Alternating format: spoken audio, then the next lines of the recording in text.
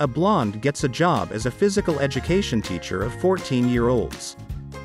On her first day, she comes to watch the kids playing soccer. She watches as they all get together and start playing. However, she quickly notices a boy at the end of the field standing alone, while all the other kids are running around having fun. She takes pity on him and decides to speak to him. Are you okay? She says kindly. Yes, he says. You know, you can go and play with the other kids, she says encouragingly.